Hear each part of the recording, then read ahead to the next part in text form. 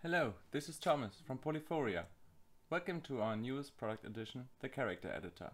I want to give you guys a brief overview of the feature set of this early access version. Let's straight jump into the editor. You notice there are three different areas. The profile on the top left, you can load your profiles, beta features, and the customization toolbar on the right. Let's start with the customization. Shapes come with weight, muscle definition, and age. This works for both genders. You can switch the gender on the top left. Here's our female character. You can make her smaller as well, a little bit more obese, and a tad older as well. We're gonna rotate the spine here to give it a more age appeal. We have different types of skin variations as well, and you can tint the character as you like.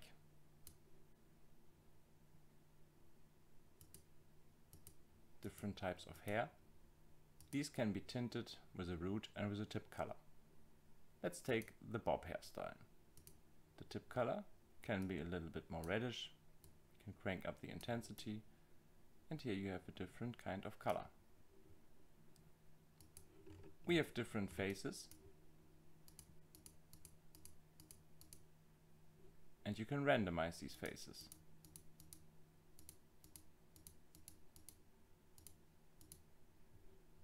Subcategories like eyes, nose, mouth and jaw can be adjusted itself. You can change the position of the nose, the tip, the tip angle, and you can randomize these features as well. If you switch back to the other gender, it's getting resetted.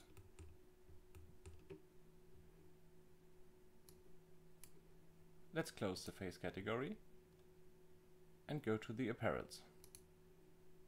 Apparel have a randomize feature as well. You can randomize all different item slots. We offer upper body, lower body, socks, feet, accessories and glasses. When you open each category, you're gonna see the different types of costumes which we offer here. The different tints inside the thumbnail are done by material instances. Let's give him a jeans, maybe a little bit darker, and also some shoes. That's nice.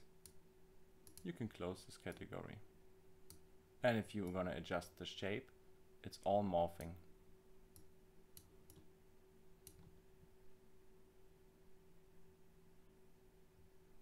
Let us load some different profiles here. I'm gonna load a female character or maybe a male casual guy and all parameters and attributes which you adjusted here are getting stored in a profile. You can easily migrate the data from other products. We will make a dedicated tutorial on this topic, but a 12 page technical documentation is included as well to help you get started with the editor and how to customize things. For example, I have imported here a knight from the medieval armor pack. Or you can also include a female villager. Let's take a closer look at her. And let's go to our beta features. You can change here some expressions, like she can be anger, or some fear, or let her smile. There's eye movement as well. Please keep in mind, no person can be fearless, anger and smiling at the same time. When you blend these things, don't overdo this. This is also working for the other gender as well.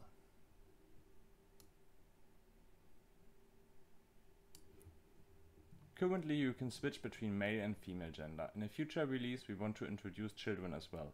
The main goal is here to give you guys the possibility of adding different anatomies, like dwarfs, or more RPG-like anatomies. We want to offer you guys the te technical freedom to develop it for your own product. We are going to plan as well adding wrinkle maps for more believable facial expressions full ARKit support to create your own facial animations. We hope you enjoyed this little introduction. Take care and stay healthy. See you next time. Adios.